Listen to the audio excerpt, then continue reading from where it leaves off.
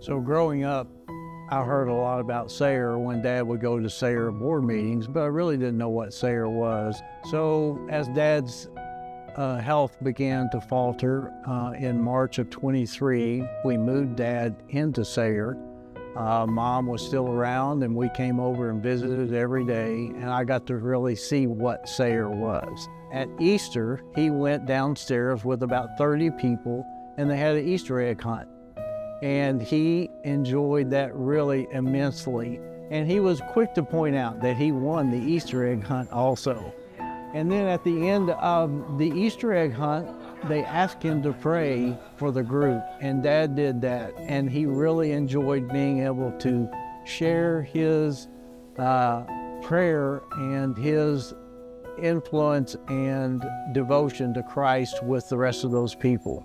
So even when Dad was his health was really declining. He was still influencing people for Jesus.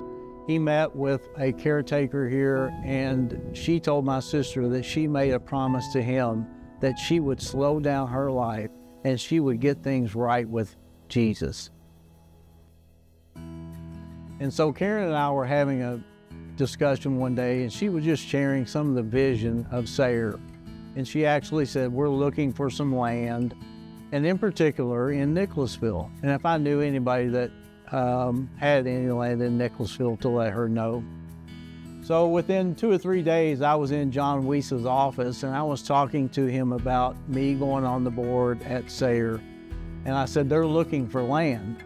And John looked at me without hesitation and said, I know where 40 acres are on the back of the property here at Southland. And he said, we've been looking for something to do with it for 10 years, and nothing has felt right. But he said, This feels right. And within a week, we had approval that not only was the land available for Sayre, but it was going to be gifted to Sayre, which is a huge blessing. Karen and John and I met Dad in the room.